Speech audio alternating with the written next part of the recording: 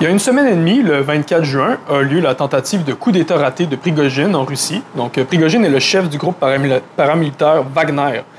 Euh, il a dit que la Russie s'était embourbée dans la guerre en Ukraine pour des mauvaises raisons. Mais pourtant, lui, là, il a, soutenu la guerre en Ukraine à ses débuts, il y a plus d'un an, au cours de la guerre, et il s'est beaucoup enrichi, en fait, avec cette guerre-là. Donc, essayons de comprendre ce qui s'est vraiment passé. Donc, Prigogine dit que c'était pas un coup d'État, hein, que c'était une marche pour la justice, entre guillemets, vers Moscou. Et après que ça ait échoué, il a dit que c'était euh, juste pour sauver son organisation, le groupe Wagner, et qu'il voulait pas prendre le pouvoir. Donc, lui et un millier de ses mercenaires se sont emparés, sans grande résistance, du euh, quartier général de l'armée russe à Rostov, ayant marché 1000 km. Hein, ils se sont rendus à, plus de, à peu près à 100-150 km de Moscou. Donc, il a réussi à, a beaucoup avancé avec sa petite armée, presque sans encombre, parce que l'armée russe était essentiellement occupée en Ukraine. Et, le groupe Wagner, ben, c'est des mercenaires très expérimentés. Et, finalement, c'est des troupes tchétchènes qui sont venues à la rescousse pour euh, stopper Prigogine. Et ensuite, il y a eu un accord qui a été conclu entre lui et le président de la Biélorussie pour lui garantir un sauf passage et un accueil dans euh, le pays voisin. Poutine a d'abord fait des accusations contre Prigogine en le traitant de traître, puis finalement les accusations ont été abandonnées. Ensuite, il a encore changé d'idée, les accusations semblaient avoir continué. C'est pas très clair, donc les choses semblent encore beaucoup évoluer en ce moment. Les troupes du groupe Wagner qui ont participé à la rébellion vont être envoyées euh, au front en Ukraine. Ils vont servir de chair à canon, en fin de compte. Et ceux qui n'ont pas participé euh, vont être intégrés dans les forces armées régulières russes. Donc, qui est Prigogine? Ben, c'est un ancien criminel. Il a passé 9 ans en prison pendant l'ère soviétique. Après l'effondrement de l'URSS, il est devenu un oligarque qui s'est beaucoup enrichi. C'était un ami de Poutine. C'était un gestionnaire d'une compagnie de traiteurs euh, qui offrait des services de nourriture pour l'armée.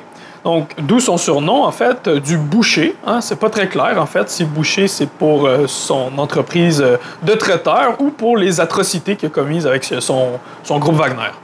Donc, on peut regarder euh, un peu plus, c'est qui ça, c'est quoi ça le groupe Wagner? Donc, c'est une armée de mercenaires, une armée privée, dont Prigogine est le propriétaire. Prigogine dit que son armée a 25 000 combattants seulement en Russie et quelques milliers en Afrique. 25 000, c'est énorme. Les services de renseignement américains, eux, comptent 50 000 soldats du groupe Wagner en sol ukrainien, dont 40 000 prisonniers. D'ailleurs, si vous êtes intéressé à rejoindre son groupe, dépêchez-vous, euh, puisqu'il va être euh, bientôt, euh, mis, on va y mettre fin. Donc, vous avez la chance dans plusieurs villes de Russie d'avoir des codes QR que vous pouvez scanner pour rejoindre le groupe Wagner. Donc, ce groupe a été utilisé par la Russie, notamment en Syrie, dans les années 2000.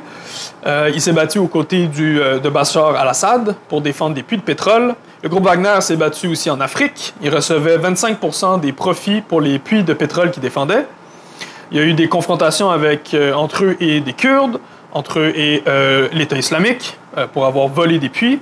Le groupe Wagner a combattu en Libye, au Mali, au Burkina Faso, au Niger, en Côte d'Ivoire, au Soudan, en République centrafricaine, où ils ont d'ailleurs volé une mine canadienne. L'État en République centrafricaine était trop faible pour les réprimer, alors le président les a engagés pour sa sécurité personnelle.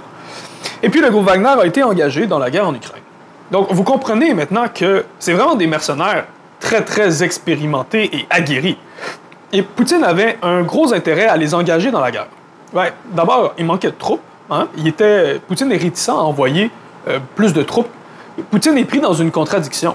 Hein, pour lui, c'est pas une guerre, c'est une opération spéciale qu'il mène en Ukraine. Et il veut pas mobiliser plus euh, l'armée que, ça, en fait.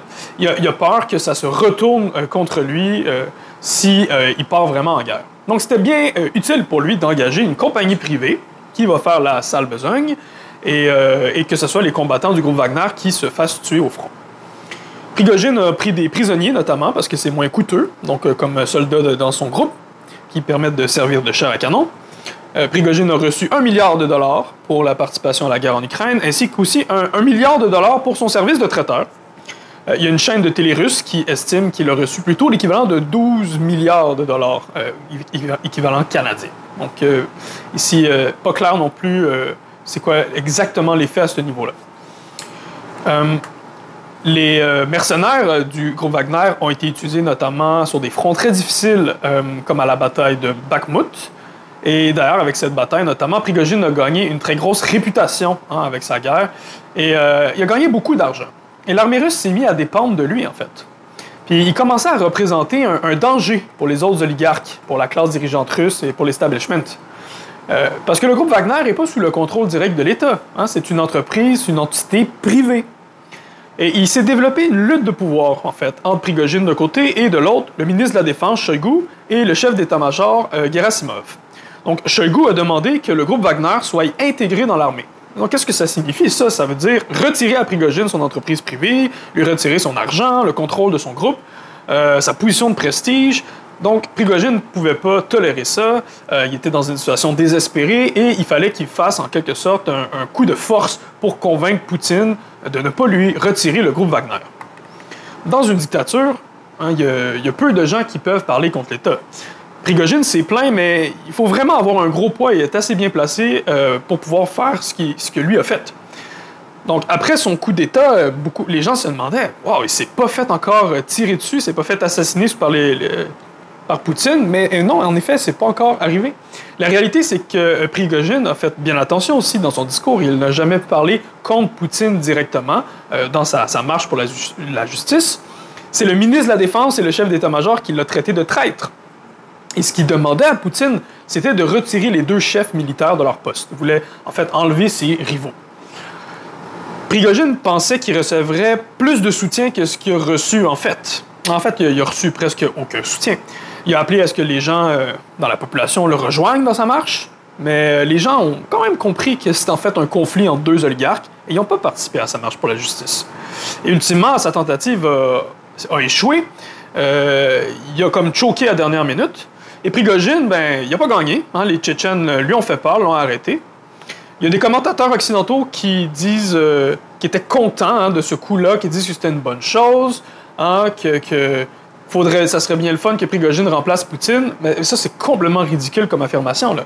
Euh, Prigogine, c'est un vrai nazi. C'est l'aile la plus radicale dans la guerre en Ukraine. Ça, ça, être, ça serait un dictateur bien pire que Poutine. Puis malgré son discours actuel que euh, la Russie est allée en guerre pour des mauvaises raisons, la, réalité, c'est qu'en fait, son discours est et a toujours été que en fait, Poutine et ainsi que Shoigu, Gerasimov sont trop mous, hein, parce qu'ils sont pris dans cette contradiction que euh, ils veulent pas amener trop de gens euh, à la guerre, trop mobiliser l'armée, euh, de peur que ça vienne euh, déstabiliser leur régime. Puis le message que Prigogine est en train de leur envoyer, c'est de dire, ben allez-y en guerre ou allez-y pas, ben, allez-y pas à moitié en fait. En fait, Prigogine, il n'est pas anti-guerre. Hein. S'il y avait le pouvoir, ben, il aurait mené un assaut encore plus grand en Ukraine. pour lui, c'était essentiellement une question d'argent. On peut se demander maintenant quelles sont les conséquences pour la Russie? Ben, le front russe n'a pas réellement été affaibli. Euh, L'Ukraine a fait des tout petits gains, là, mais pour vrai assez euh, dérisoires. Du côté de qu'est-ce que Prigogine a réussi à faire, lui, comme euh, dommage, ben, il a détruit trois hélicoptères, hein, mais pas ben, plus que ça. il y a aussi les services secrets américains qui pensent qu'en fait, Poutine aurait été au courant depuis plusieurs semaines qu'il y aurait ce coup qui se prépare et que Poutine aurait voulu humilier Prigogine. Bien, il y a un élément de vérité derrière ça, parce que ça prend vraiment beaucoup de préparation pour organiser un coup de ce type-là. Hein, c'est des semaines de préparation, préparer les munitions, euh, l'arsenal, euh, la nourriture, préparer les troupes. Puis les services d'intelligence russes sont assez puissants, en fait. Donc, en fait, oui, c'est probable que Poutine était au courant que quelque chose se préparait, mais euh, probablement qu'il ne savait pas jusqu'où ça irait, en fait. et aussi, s'il y a un intérêt à le savoir puis à pas le dire, c'est de, ben, premièrement, tu vas pouvoir t'occuper de Prigogine, mais aussi c'est de pouvoir faire ressortir, est-ce qu'il n'y aurait pas d'autres généraux ou membres de, de l'État, d'oligarques, qui en fait seraient bien euh, contents de participer à une telle euh, initiative avec Prigogine? Donc ça permettrait de faire ressortir les traites, puis pourrait, euh, Poutine pourrait utiliser ça pour se débarrasser de toute une gang en même temps, puis dire, regarde, voilà, vous, je le savais, vous étiez des traites, maintenant c'est clair. Il y a une autre théorie qui dit que, en fait, tout ça, le coup de Prigogine, aurait été orchestré par Poutine en connivence avec Prigogine. Mais je suis désolé, c'est complètement euh, ridicule comme spéculation. Il y a des commentateurs occidentaux, euh, ukrainiens aussi, qui disent que ben, tout ça montre la faiblesse du régime hein, de Poutine. Ben, c'est drôle, mais de l'autre côté, les Russes disent que ça montre la force du régime de Poutine, parce que Poutine a quand même été capable d'empêcher le coup. Hein? Ben, qui a raison? Ben, je dirais un peu des deux, en fait. Donc, à court terme, euh, le pouvoir de, Poutine, ben, ça le consolide, hein, parce que ça lui enlève euh, un de ses, euh, ses rivales. puis Prigogine, lui, il n'a rien gagné hein, de, ça. Là. Pour il, est en train de tout perdre. Le groupe Wagner va être intégré dans l'armée. Poutine, lui, a réussi à accomplir ce qu'il cherchait à accomplir. Mais si on regarde un peu plus un peu plus grand, le, big picture, ben, ce que ça nous montre, c'est qu'il y a des cracks qui se développent dans le régime. Hein. Il, y a, du mécontentement qui commence à apparaître. Euh, le régime bonapartiste hein, de, Poutine, c'est une dictature, mais euh, il, y a, définitivement une instabilité qui commence à, se développer là, euh, dans les fondations de ce régime bonapartiste. Et cependant, à court terme, ça pointe pas dans la direction qu'il y aurait des, gros changements qui se produiraient dans l'État russe. Euh, ça serait faux de comparer ça euh, à 1991, hein, parce que y a eu, euh, quand il y a eu une partie de la bureaucratie de droite de l'URSS qui a commencé à faire le déplacement vers le capitalisme. Euh, il y a une, partie de la bureaucratie de gauche, notamment à travers le Parti communiste, qui a fait organiser des, émeutes, comme un coup d'État, en fait, pour pouvoir euh, finalement maintenir un régime comme il y avait avant, de type stalinien. Puis, euh, en fait, il y en a qui, disent que ben on, est un peu comme en 91, hein, le, changement d'un régime, il y a quelque chose de là qui commence à apparaître. Mais je suis désolé, pour l'instant, ça pointe pas du tout dans cette direction-là. Là. Il faudrait... ça, ça serait une exagération. Qu'est-ce que la, population euh, pense de tout ça? Ben, on, voit qu'il y a en fait il y a une certaine passivité. Euh, mais c'est pas que les gens aiment Poutine. Poutine n'est pas très populaire. Hein. Les gens n'aiment pas particulièrement Poutine. Mais là, avec Prigogine, euh, je veux dire, les gens, ils, savent pas trop à quoi s'attendre avec lui. Comme entre un mal que tu connais et un mal que tu connais pas, tu prends le mal que tu connais. Poutine, lui, s'est présenté un peu comme le, personnage rationnel, stable, ordonné, qui vient d'arrêter un fou furieux. Donc c'est un, peu, un peu comme ça que les gens le voient. sais. Aussi, un autre aspect, c'est que ben, jusqu'à maintenant, la guerre en Ukraine était un peu extérieure aux travailleurs russes. Aux Russes, euh, les gens acceptaient ça en quelque sorte parce que c'était comme, c'était pas directement dans leur vie. Mais là, ce qui vient de se passer, c'est quand même un changement important parce que le groupe Wagner a comme amené la guerre sur le sol russe, dans la Russie il y a des gens là, qui ont commencé à se barricader quand le groupe Wagner a commencé à marcher. Euh, la loi martiale a été déclarée. Donc, euh, tout ça crée du mécontentement. Euh, mais la tentative de, coup d'État raté ne va pas avoir de conséquences graves immédiates pour le régime. Cependant, oui, ça montre des signes d'affaiblissement du régime. Il y a plusieurs questions qui restent en suspens. Donc, est-ce que Prigogine va garder sa tête? Hein? est-ce qu'il va réussir à obtenir l'asile en Biélorussie? Est-ce qu'il euh, pourrait se faire assassiner euh, en secret? Ah, parce que s'il y a bien une chose qu'un Bonaparte ne peut pas tolérer, c'est la trahison, hein, parce que ça pourrait donner euh, des idées à d'autres personnes. Puis il y a d'autres oligarques qui ont été emprisonnés ou exécutés pour beaucoup moins de ça. Et pourtant, là, Poutine ne l'a pas fait arrêter.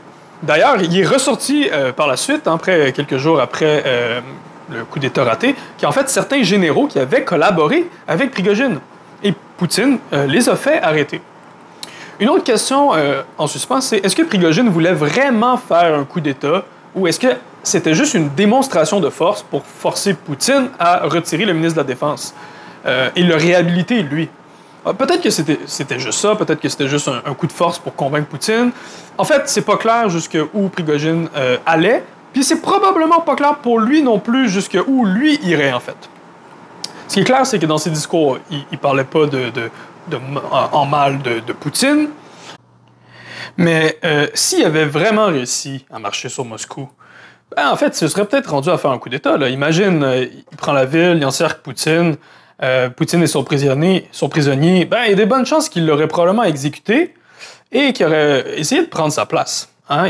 Il faut se rappeler qu'il a fait, Prigogine a fait des appels aux forces de l'armée, au personnel de l'État, ce qu'il appelle les forces de la justice, pour se joindre à sa rébellion. Mais comme il n'a pas euh, reçu d'appui, euh, il n'a pas euh, mené l'opération jusqu'au bout, et après, il a pu prétendre que, en fait, c'était pas un coup d'État, c'était juste, une marche pour la justice, que c'était contre le ministre spécifiquement. Un dernier point que j'amènerais, c'est la question de 1917. Hein. Poutine a parlé de 1917. C'est assez surréaliste comment Poutine aime réviser l'histoire. Il dit qu'en fait, c'est la faute des bolcheviks puis de, certains généraux anti-tsaristes que euh, la Russie a perdu la guerre pendant la Première Guerre mondiale. Hein? Il y a eu la guerre, et là, euh, les bolcheviks, finalement, ont pris le pouvoir en octobre. En octobre, avant ça, il y a eu des généraux euh, qui, qui ont supporté la révolution de février. Et donc, pour Poutine, là, tout ça, ça a tellement déstabilisé, le régime que ça a fait que l'armée russe n'a pas pu gagner la Première Guerre mondiale. C'est vraiment une révision ridicule de l'histoire. La réalité, c'est que la Première Guerre mondiale, ben, la Russie était en train de la perdre. Euh, il y avait la conscription, les, euh, les travailleurs euh, étaient en famine, commençaient à mourir de faim dans les villes, il y a eu des grèves, donc le régime était complètement déstabilisé à cause que la Russie est en train de perdre la guerre. C'est dans le contexte de l'instabilité du régime qu'il y a eu la révolution de février, puis la révolution socialiste d'octobre qui a été menée par les bolcheviks. Donc c'est vraiment il regarde l'histoire complètement à l'envers. Mais qu'est-ce que nous, on en retient, en fait, de ces propos de Poutine? C'est que ça montre que, ben, lui, il tripe sur le tsar. Et il se voit, Poutine, il se voit comme le successeur du tsar. Tu ça montre le caractère, là, vraiment réactionnaire de son régime, là, qui est vraiment un régime de, dictature. Et pour conclure, j'aimerais revenir sur la situation en général autour de, la guerre en Ukraine. Euh, nous, ce qu'on met de l'avant, c'est que la guerre en Ukraine, c'est une guerre impérialiste, réactionnaire, des deux côtés. Il y a deux gangs d'impérialistes qui se battent. Il y a l'impérialisme régional russe d'un côté et l'impérialisme américain et l'OTAN euh, de l'autre. Et les deux se battent en sol ukrainien et font couler du sang euh, ukrainien. Poutine, c'est un dictateur, hein. c'est un Bonaparte à la tête d'un régime rempli d'oligarques, des grands capitalistes, qui euh, veulent exploiter sans arrêt les travailleurs russes et sont prêts à faire saigner les Ukrainiens pour repousser l'OTAN.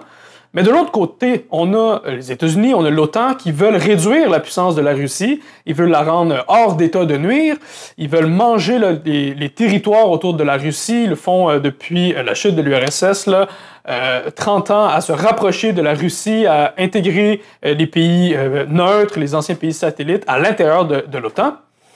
Et là, ils mènent une, guerre, mais sans directement amener leurs soldats, hein, parce que en réalité, ce qu'ils veulent, les Américains, c'est euh, miner la Russie, miner euh, sa puissance militaire et économique. Et ultimement, ça, ça va permettre de miner la Chine, euh, qui est alliée de la Russie. Et la Chine, c'est le vrai ennemi des États-Unis. Il y a aussi le Canada, les États-Unis, plusieurs pays comme ça de l'OTAN qui veulent mettre la main sur des, des, entreprises en Ukraine. Il y a 3600 entreprises ukrainiennes en voie de privatisation qui sont encore nationalisés, hein, suivant la, période soviétique. Et euh, ben, Trudeau, Biden, tout ça, a tout intérêt à ce que ces entreprises, quand ils vont devenir privées, euh, tombent dans le, giron du Canada, des États-Unis. Il va avoir beaucoup d'argent à se faire avec ça. Donc, nous, les, les travailleurs, les opprimés, les socialistes, on ne peut pas juste faire un appel abstrait euh, à la paix.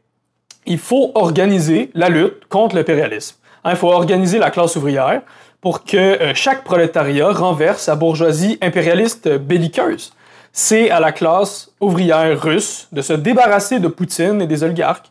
C'est euh, à, nos camarades, euh, les socialistes, les travailleurs d'Ukraine, de renverser Zelensky. Et c'est à nous, c'est à nous de renverser notre propre bourgeoisie occidentale.